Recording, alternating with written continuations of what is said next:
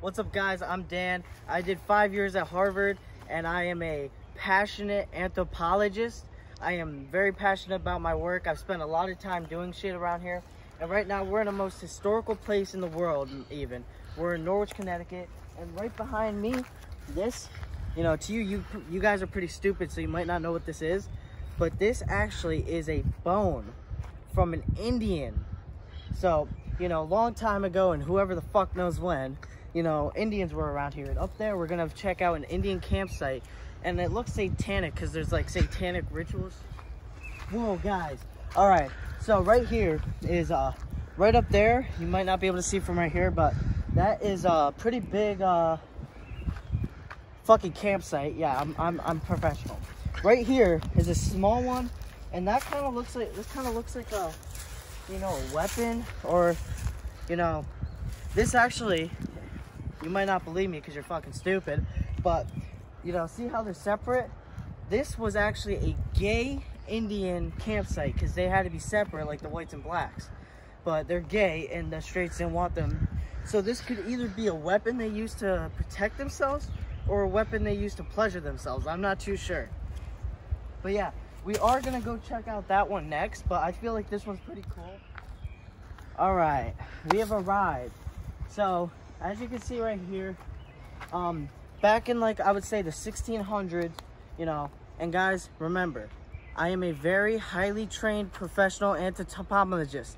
All right, I did go to Harvard. If you try to backtrack me out, fuck you.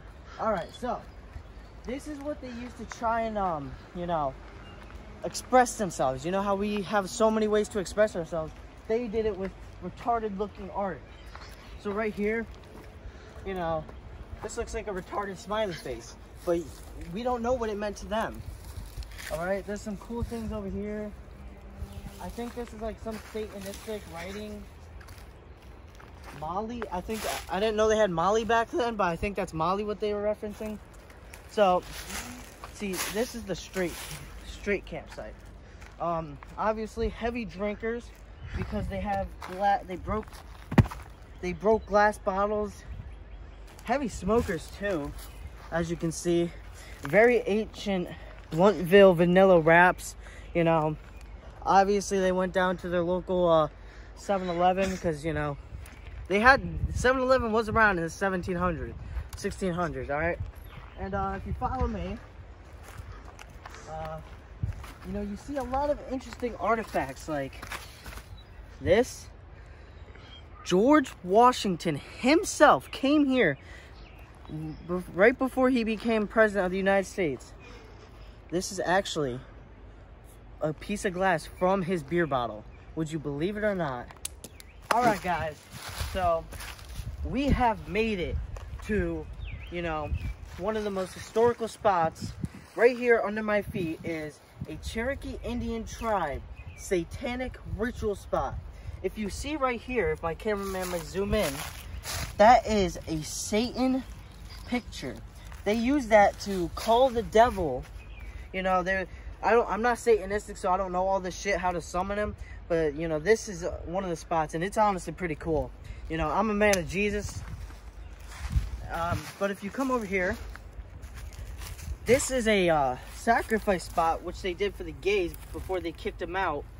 And, uh, you know, you might be asking me, oh, how do you know that's gay blood? If you get close enough and look, you can see the AIDS. You guys might not be able to see it because you guys didn't go to Harvard. I did, so.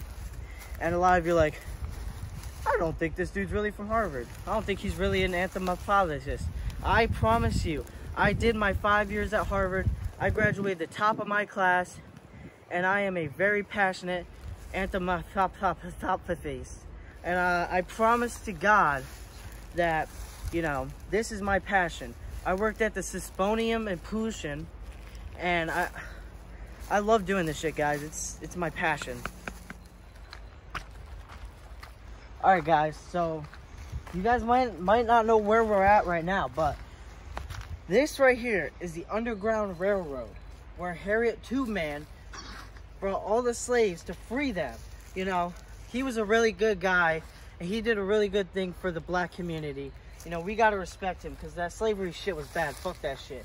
But yeah, um, this actually is where, you know, the Underground Railroad was, and it's actually pretty fucking cool that, you know, I'm standing right right in front of so much history, you know, and uh, honestly, you know, hundreds of years ago, there was slaves being freed from here, and it's crazy to realize that.